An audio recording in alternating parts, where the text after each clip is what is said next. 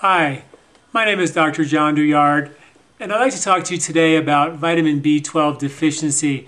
This is part of a series I'm doing on deficiencies that affect up to 50% of the American population. We did one on vitamin D, which affects 87% of the American population and one on iodine deficiency, which, according to the World Health Organization, affects up to 72% of the world's population. So these are really important topics, and I invite you to watch the videos and read the articles associated with these deficiencies on my website at lifespa.com. There's also an article associated with this video on B12 deficiency that I invite you to read. Now, Tufts University recently did a study and found that 40% of the American population are deficient in B12 and said that this number is probably much greater because it's difficult to detect a B12 deficiency. Symptoms don't show up for five to six years. Um, people who who get a blood test and have normal levels when they actually take the B12 have significant therapeutic improvements. So it's difficult to detect a B12 deficiency and it's unclear how much we actually need and how to measure that. Certain groups are at risk, however, of a B12 deficiency or at greater risk. One of those is a vegetarian diet. Vegetarians tend not to get adequate B12 in their diet because B12 is most abundant in meats, fish, eggs, and dairy products and really not very much available in vegetables. So most vegetarians have to supplement with vitamin B12.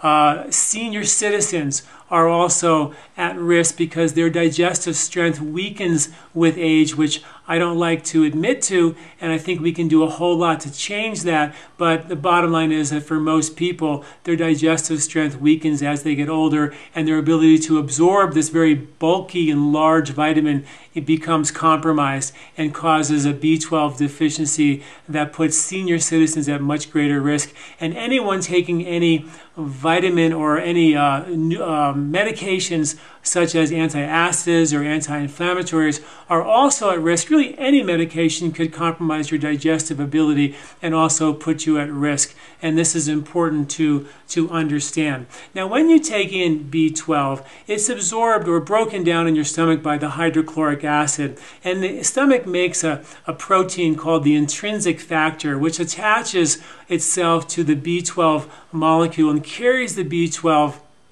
vitamin to the end of the small intestine where it gets absorbed into the liver where it becomes activated. If there is any compromise in the digestive strength, this very bulky vitamin doesn't get broken down, doesn't attach to the intrinsic factor because oftentimes the intrinsic factor is deficient or unavailable, or if there's any compromise in digestive health, the absorption of the B12 with the intrinsic factor to the liver becomes compromised. So if you have any issues with regard to digestion, things like being, you know, addicted or needing digestive enzymes or digestive laxatives or having to stay on a restrictive diet to digest well, having to eat extra amounts of certain foods or none of other foods is an indication that you're probably not digesting well. You know, many vegetarians who are you know, classically deficient in B12, they oftentimes become vegetarians because they don't digest well. And um, so it's important for us to stop and really dig in here and figure out how we can really maximize and optimize our digestive health. And I'm a big fan of that. I've written articles and done videos on that, and I please and written some books about that. So please look into that as a possibility to really optimize not only your health, but your for sure your B12 absorption. This is really uh, critically important.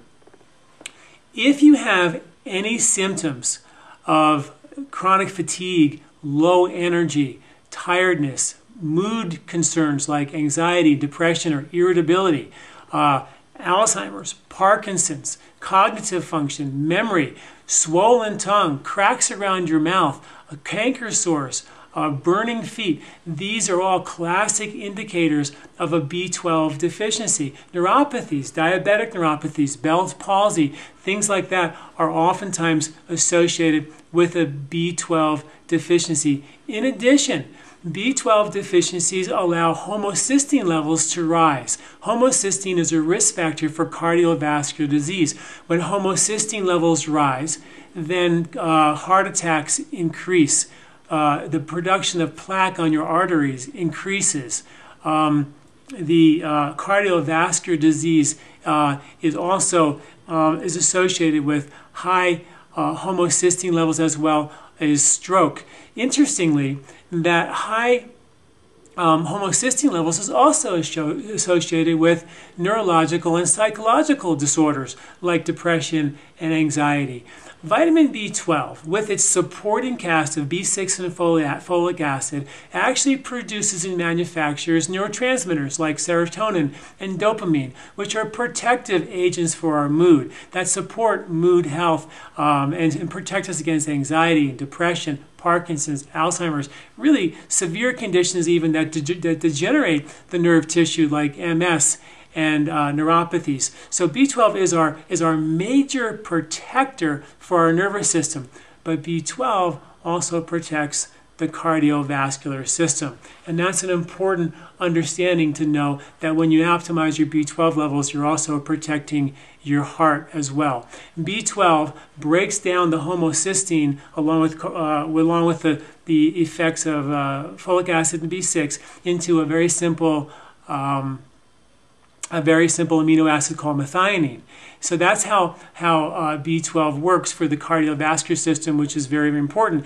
B12, folic acid, and B6 also increase the production of a product that fights depression called SAMe, which has been shown in studies, many studies, to actually be as effective as the Western medicine drugs, antidepressant drugs. So B12 is a powerful tool for protecting our nervous system against stress and protecting our heart against stress. It really is that mind heart uh, body connecting vitamin. So it's a beautiful, uh, beautiful vitamin and something that we kind of insidiously become deficient in and we have to protect against it. Now, for years we always thought we had to inject ourselves with B12 to get our energy up and we had to feel good with, with, uh, with um, uh, with vitality and get the B12 that way.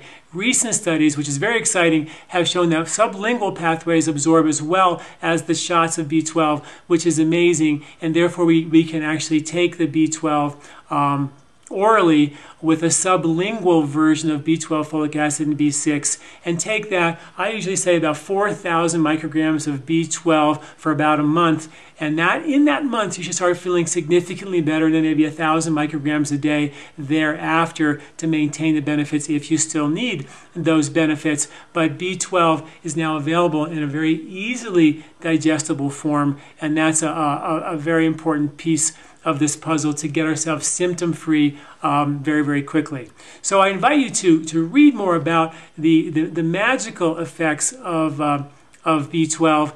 Um, you know, remember, B12 is one of the most powerful tools for our nervous system. Things like anorexia, uh, addictions, cognitive functions, not being able to sleep at night, um, you know, are all very powerful um, parts of the B12 puzzle to bring our health uh, back into balance. Please, I invite you to look at the article associated with this video uh, and find out how to diagnose, how to treat, and how to prevent against B12 deficiency. Thank you very much. I'm Dr. John Douillard.